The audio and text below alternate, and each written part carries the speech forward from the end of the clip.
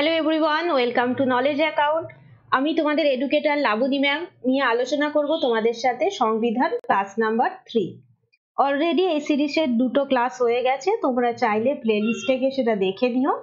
আর আজকে এই চ্যানেলে যারা একদম নতুন, তারা সবার আগে চ্যানেলটাকে সাবস্ক্রাইব করে নাও, আর পাশে থাকা বেল আইকনটাকে প্রেস করে দাও, যাতে যে কোনো ভিডিওর নোটিফিকেশন সবার আগে তোমাদের কাছে যায়। তো আজকে আমাদের চ্যাপ্টার যেটা নিয়ে আমরা আলোচনা করব সেটা হচ্ছে প্রস্তাবনা ও অঙ্গরাজ্যের পুনর্গঠন। এই চ্যাপ্টার থেকে প্রিভিয়াস ইয়ারে যত কোশ্চেন আছে সেটা তো আমি আলোচনা করবই। তাছাড়াও আমি যা এক্সট্রা পয়েন্ট আলোচনা করব, তো ফুল তোমাদের এই চ্যাপ্টারটা রেডি হয়ে যাবে। তো আজকে ফার্স্ট কোশ্চেন দিয়ে আমরা চ্যাপ্টারটা শুরু করি। ভারতীয় সংবিধানের প্রস্তাবনা অনুযায়ী ভারতবর্ষ একটি। ফার্স্ট অপশনগুলো আমি একটু বলে দিচ্ছি। অপশন এ তে রয়েছে সার্বভৌম, গণতান্ত্রিক, প্রজাতন্ত্র। বি তে রয়েছে সমাজতান্ত্রিক, ধর্মনিরপেক্ষ, প্রজাতন্ত্র। আর সি তে রয়েছে সার্বভৌম, সমাজতান্ত্রিক, ধর্মনিরপেক্ষ এবং গণতান্ত্রিক। আর ডি তে রয়েছে প্রজাতন্ত্র, যুক্তরাষ্ট্রীয় নাকি গণতান্ত্রিক। তো অপশনগুলো ফুল দেখবে। দেখে যে কটা, যেটা অ্যান্সার হবে ঠিক সেটা দেখো। আগে দেখো সব কটা কোন অ্যান্সারের মধ্যে রয়েছে।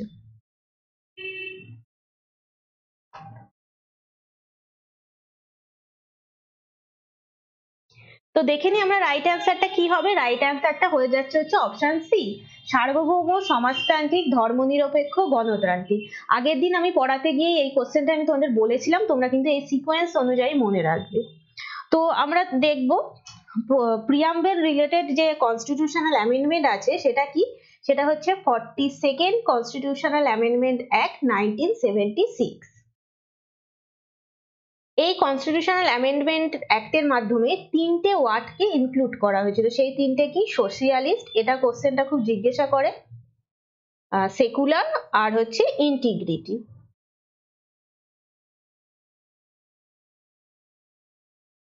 আর প্রিয়াম্বেল যখন এলো, আরেকটা কোশ্চেন হচ্ছে অবজেক্টিভ রিজলিউশন অবজেক্টিভ রেজলিউশন কে এনেছিল? এনেছিল আমরা জানি জওহরলাল নেহেরু।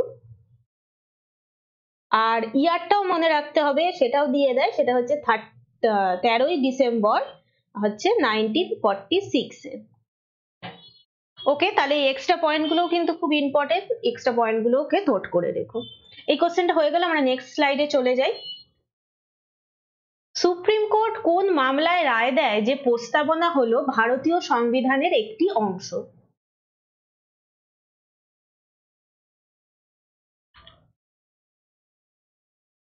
এখানে রাইট অ্যান্সারটা হয়ে যাচ্ছে option B Kesavananda Bharati case Bharati case সেখানে কিন্তু বলা হয়েছিল যে preamble is the part of constitution আর এই কেশবানন্দ ভারতী কেসে আমরা আরও একটা জিনিস কি পাই? আমরা বেসিক স্ট্রাকচারের ডেফিনেশনটা পাই।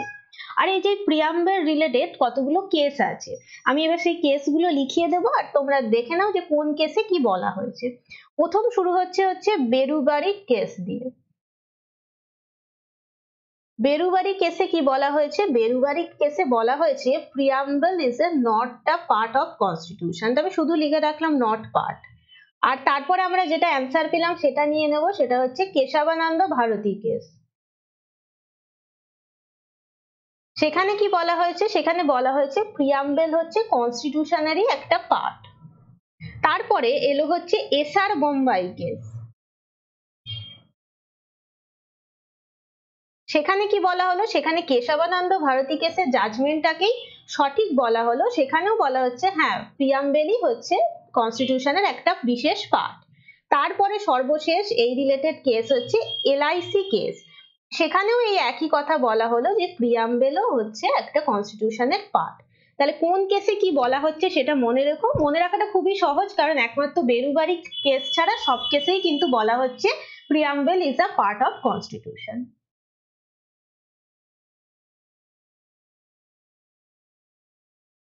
next question ভারতীয় সংবিধানের প্রস্তাবনাটি এখনও পর্যন্ত কতবার সংশোধিত হয়েছে? খুব ইম্পর্টেন্ট কোশ্চেন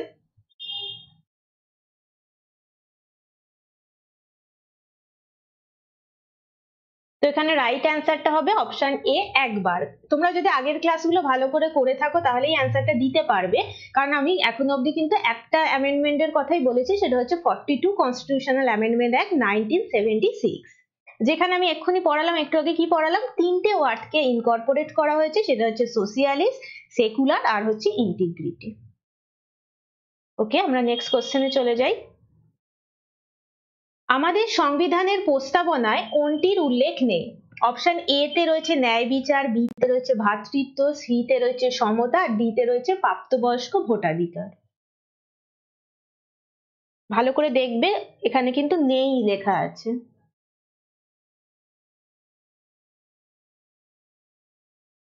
তো এখানে রাইট অ্যান্সারটা হয়ে যাচ্ছে অপশন ডি বাকিগুলো কিন্তু আছে, একমাত্র প্রাপ্তবয়স্ক ভোটাধিকার, এটাই কিন্তু নেই। সংবিধানের প্রস্তাবনায় যে সমাজতন্ত্রের কথা বলা হয়েছে, সেটি কি?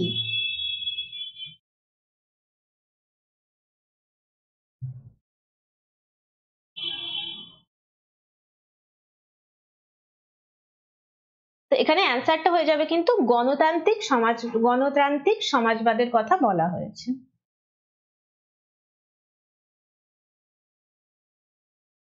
কে মন্তব্য করেছেন প্রস্তাবনা হলো সংবিধানের সর্বাপেক্ষা মূল্যবান অংশ।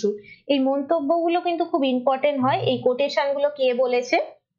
তো এই কোশ্চেনের রাইট অ্যান্সারটা দেওয়ার পর আমি প্রিয়াম্বের রিলেটেড এই যতগুলো কোটেশন আছে আমি তোমাদের লিখিয়ে দেবো।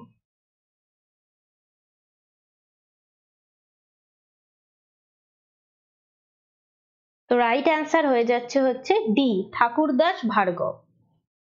কি বলেছেন? প্রস্তাবনা হলো সংবিধানের সর্বাপেক্ষা মূল্যবান অংশ। আমি আগের দিনে এই কোশ্চেনটা তোমাদের রেখেছিলাম, সেটা হচ্ছে পলিটিক্যাল হরোস্কোপ কে বলেছেন প্রিয়াম্বেলকে? পলিটিক্যাল হরোস্কোপ বলেছেন হচ্ছে কে এম মুন্সি। নেক্সট হচ্ছে এ কি নোট টু দা কনস্টিটিউশন এই সবগুলো কিন্তু এক একটা কোটেশনের মধ্যে।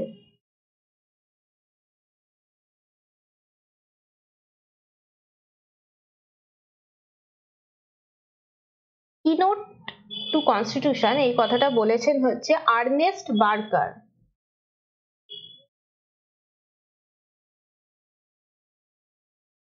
আর হচ্ছে soul of constitution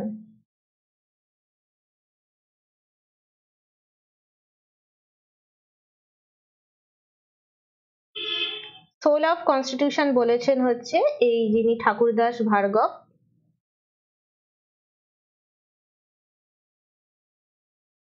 R last হচ্ছে প্রিয়াম্বেলকে বলা হয়েছে কনস্টিটিউশনের আইডেন্টিটি গার্ড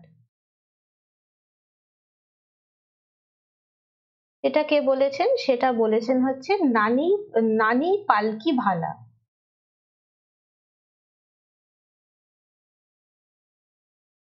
ব্যাস, হয়ে গেল। এই যে কয়েকটা কোটেশন রয়েছে, এই কয়েকটা কোটেশনই হচ্ছে প্রিয়াম্বেল রিলেটেড আর এখানে কোশ্চেনটাও তোমরা পেয়ে গেলে এটাও আর একটা কোটেশন তো এগুলো খাতায় অবশ্যই কিন্তু ভালো করে নোট করে রেখো তোমরা।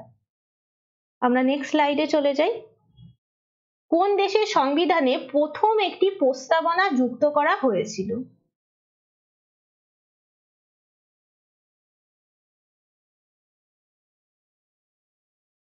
তো এখানে রাইট অ্যান্সার হয়ে যাচ্ছে অপশন এ মার্কিন যুক্তরাষ্ট্র। আর আমরা প্রিয়াম্বেলের ধারণাটা কোথা থেকে নিয়েছি, এটা তো আমি আগের দিন রেখেছি, আমরা ইউএসএ থেকে নিয়েছি। প্রিয়াম্বেলের ধারণাটা। সেভেন্টিন এইটটি সেভেনে কিন্তু এই ইউএসএ থেকে ইনকর্পোরেট করে আমাদের ইন্ডিয়াতে কনস্টিটিউশনে প্রিয়াম্বেলটাকে যুক্ত করা হয়েছিল। প্রস্তাবনায় বর্ণিত স্বাধীনতা, সাম্য ও সৌহার্দ্যের আদর্শগুলি কোন উৎস থেকে গৃহীত হয়েছে?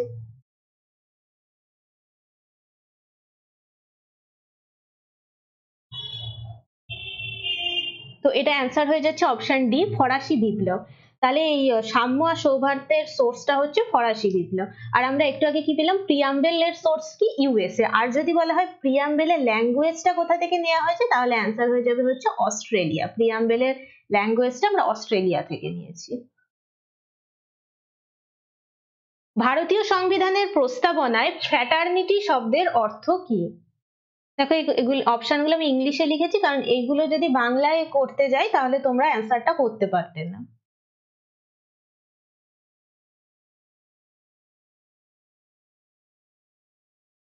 অপশন ডি হয়ে যাচ্ছে রাইট অ্যান্সার সেটা হচ্ছে বাদারহুড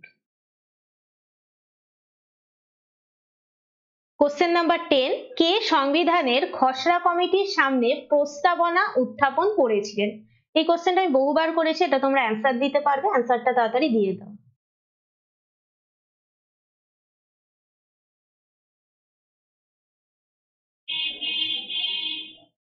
অ্যান্সার হয়ে যাচ্ছে option A Jawaharlal Nehru objective resolution কে এনেছেন, কোন ডেট এটা আমার বলা হয়ে গেছে। তাহলে নেক্সট কোশ্চেনে চলে যাই। ভারতের দীর্ঘ আন্দোলনের পর সৃষ্ট প্রথম ভাষাভিত্তিক রাজ্য কোনটি? দেখছ, এটা কিন্তু বিসিএস নয়, চার, এগারো, প্রত্যেকটা সালেই কিন্তু এসেছে। তো রাইট অ্যান্সার হয়ে যাচ্ছে হচ্ছে অপশন ডি অন্ধ্রপ্রদেশ। কবে হয়েছিল? নাইনটিন ফিফটি থ্রিতে প্রথম ভাষাভিত্তিক রাজ্য। রাজ্য পুনর্গঠন কমিশনের সুপারিশগুলি পশ্চিমবঙ্গে কবে রূপায়িত হয়েছিল?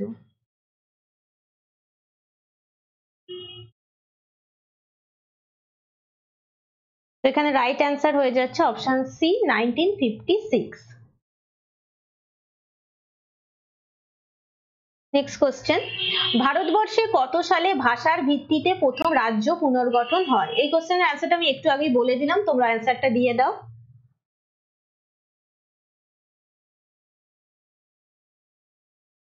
অপশন এ হয়ে যাচ্ছে right answer nineteen fifty three আর এই যে ভাষাভিত্তিক যে আন্দোলন করে যে অন্ধ্রপ্রদেশটা তৈরি হলো, এই আন্দোলনে কে মুখ্য ভূমিকা গ্রহণ করেছিল সেটা হচ্ছে পট্টি শ্রী রামালু। আর এই যে ভাষার ভিত্তিতে অন্ধ্রপ্রদেশ রাজ্যটা গঠিত হলো, এটা একটা কমিটির সুপারিশে গঠিত হয়েছিল। সেই কমিটির নাম কি? সেই কমিটির নাম ছিল হচ্ছে জেপিভি কমিটি। ওকে নেক্সট কোশ্চেনে যাই। কততম সংবিধান সংশোধনীর মাধ্যমে সিকিমকে ভারতের একটি অঙ্গরাজ্যের মর্যাদা প্রদান করা হয়? ভীষণ ইম্পর্টেন্ট একটা কোশ্চেন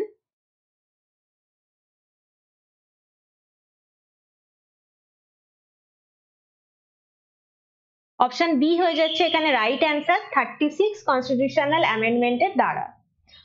সালটা একটু জেনে রাখো নাইনটিন সেভেন্টি ফাইভ সালটাও মনে রাখতে হবে অবশ্যই নাইনটিন সেভেন্টি ফাইভে কি করা হলো? সিকিমকে একটা অ্যাসোসিয়েট স্টেট হিসেবে গণ্য করা হলো। ভারতীয় সংবিধান অনুসারে নতুন অঙ্গরাজ্য গঠন বা বর্তমান রাজ্যগুলি সীমানা পরিবর্তন করার অধিকার কার কাছে আছে?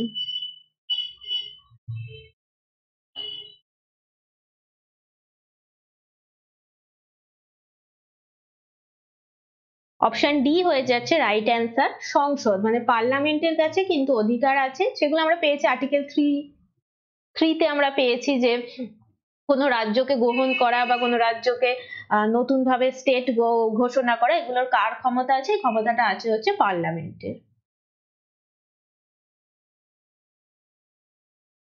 কোন রাজ্য ভেঙে ছত্তিশগড় রাজ্য গঠিত হয়?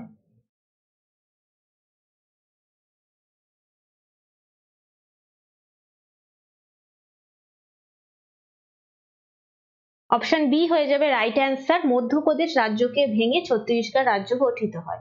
এই ছত্তিশগড় রাজ্য কততম রাজ্য? টোয়েন্টি তম রাজ্য। কবে গঠিত হয় সেটা একটু জেনে রেখে দাও। ফার্স্ট নভেম্বর দু হাজার সালে কিন্তু এই ছত্তিশগড় রাজ্যটা গঠিত হয়।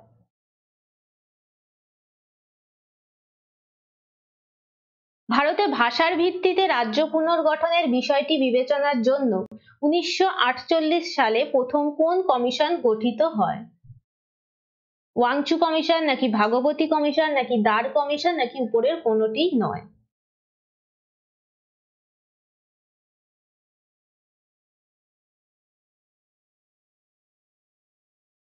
অপশন সি হয়ে যাবে এখানে রাইট অ্যান্সার দার কমিশন কিন্তু গঠিত হয়। আর এখান থেকে তোমরা দার কমিশনের ইয়ারটাও পেয়ে যাচ্ছ নাইনটিন ফর্টি এইটে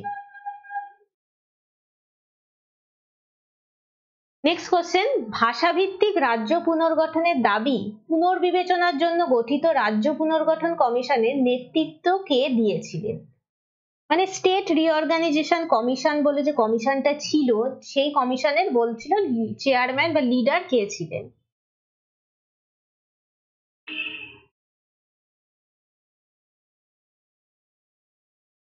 অপশন এ ফজল আলী হবে রাইট অ্যান্সার তা এখানে কি বলেছে? কথাটা state reorganisation commission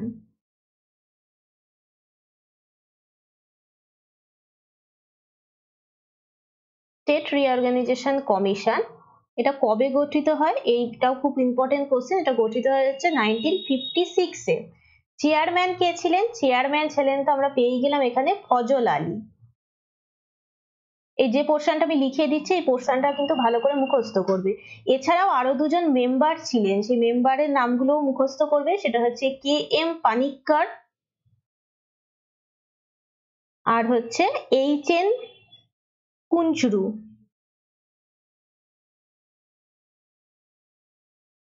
তাহলে আমরা স্টেট রিঅর্গানাইজেশন কমিশন কত সালে আসে? পেয়ে গেলাম নাইনটিন ফিফটি সিক্সে চেয়ারম্যান কে ছিলেন? খুব ইম্পর্টেন্ট ফজল আলী। আর দুজন মেম্বার কে ছিলেন কে এম পানিক্কর আর হচ্ছে হৃদয়নাথ কুঞ্জরু।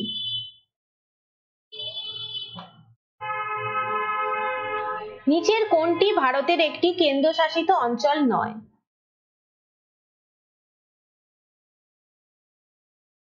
ত্রিপুরা হয়ে যাচ্ছে রাইট অ্যান্সার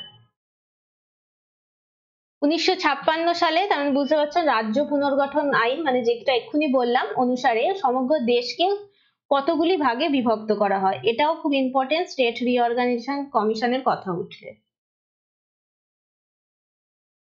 তো অপশন বি আচ্ছা এখানে কিন্তু বি আর সি এর মধ্যে হয়ে গেছে। বি কিন্তু হয়ে যাচ্ছে রাইট অ্যান্সার চোদ্দটি রাজ্য আর পাঁচটি কেন্দ্রশাসিত অঞ্চল।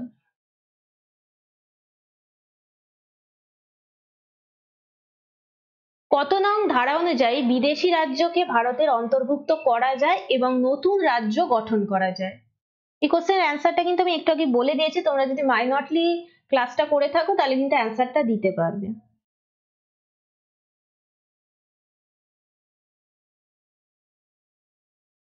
আর্টিকেল টু হয়ে যাচ্ছে রাইট অ্যান্সার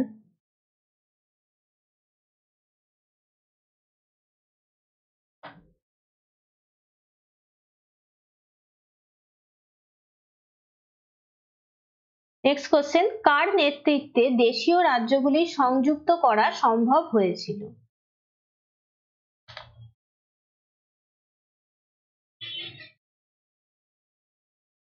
তো দেখে নি রাইট অ্যান্সারটা কি হবে। রাইট অ্যান্সারটা হয়ে যাচ্ছে অপশন এ সর্দার বল্লভভাই প্যাটেল। কত সালে পুনর্গঠন আইন পাশ হয়? এটাও একটু আগে বলেছি। তো অপশন এ হয়ে যাচ্ছে রাইট অ্যান্সার নাইনটিন ফিফটি সংবিধানের রাজ্য গঠন ও পুনর্গঠন সম্পর্কে বিস্তারিত উল্লেখ পাওয়া যায়। দিয়ে এখানে এগুলো যে এক two one one two four বলছে, এগুলো মানে কিন্তু আর্টিকেল যেমন এক মানে এক নম্বর আর্টিকেল তো কি অ্যান্সার হয়ে যাবে আমরা জানি, এক থেকে চার এর মধ্যে কিন্তু এই রাজ্য পুনর্গঠন, গঠন এই সম্পর্কে বলা আছে। কত সালে তেলেঙ্গানা রাজ্য গঠিত হয়? এটাও খুব ইম্পর্টেন্ট কোশ্চেন তেলেঙ্গানা নিয়ে বহুবার কোশ্চেন এসছে।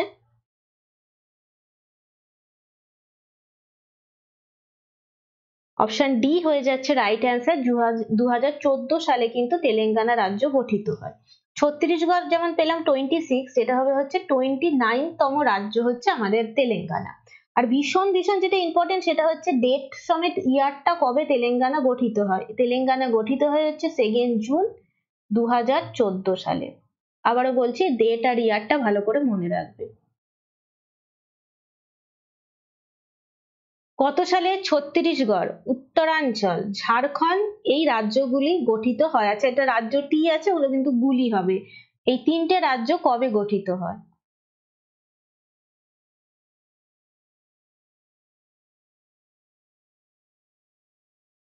এই তিনটে রাজ্যই কিন্তু একটা ইয়ারেই গঠিত হয়, সেটা হয়ে যাচ্ছে অপশন বি দু সালেই কিন্তু এই তিনটে রাজ্য গঠিত হয়। তবে আমাদের ডেটগুলো আলাদা, আমি ডেটগুলো লিখিয়ে দিচ্ছি। যেমন ঝাড়খণ্ড কবে গঠিত হয়? ঝাড়খণ্ড গঠিত হয় হচ্ছে ফিফটিন্থ নভেম্বর দু হাজার সালে। উত্তরাঞ্চল। উত্তরাঞ্চল গঠিত হয় হচ্ছে নাইন্থ নভেম্বর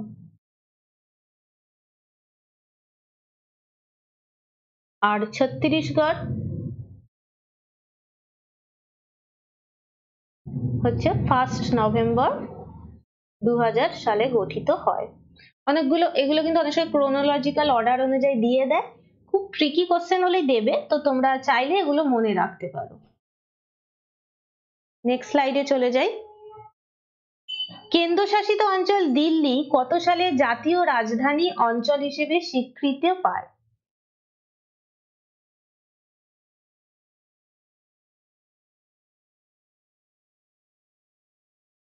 অপশন সি হয়ে যাচ্ছে রাইট অ্যান্সার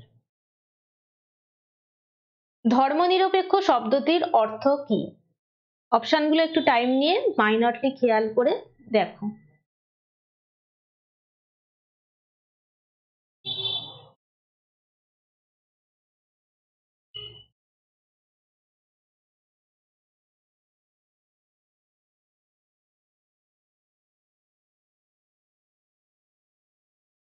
তো এখানে অপশন সি হয়ে যাচ্ছে রাইট অ্যান্সার কি? রাষ্ট্র কোনো ব্যক্তির ব্যক্তিগত ধর্মবিশ্বাস ও ধর্ম প্রচারের স্বাধীনতায় হস্তক্ষেপ করবে না।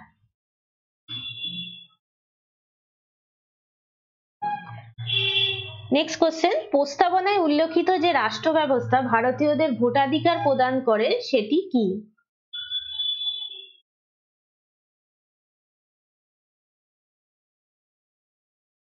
সেটি হচ্ছে গণতন্ত্র option B is the right answer আজকের সিরিজের শেষ কোশ্চেন ভারতবর্ষের নবীনতম রাজ্য কোনটি?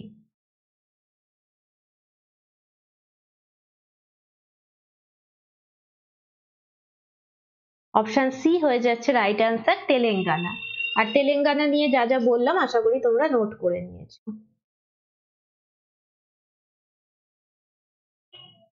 সো আজকের সিরিজটা এই অবধি ছিল। ক্লাসটা যদি ভালো লেগে থাকে, তাহলে তোমরা অবশ্যই লাইক কমেন্ট আর শেয়ার করে দিও। আর এই ক্লাসগুলো এরকম পরপর আসতে থাকবে, আর তোমরা কিন্তু চ্যাপ্টার ধরে প্রত্যেকটা ক্লাস করতে থেকো, তাহলে তোমাদের কিন্তু খুব হেল্পফুল হবে। কোয়ালিটি নিয়ে আর কোনো ডাউট থাকবে না। তো চলো, আজকে ক্লাসটা এখানেই শেষ করলাম। নেক্সট ক্লাসে আবার তোমাদের সাথে দেখা হচ্ছে।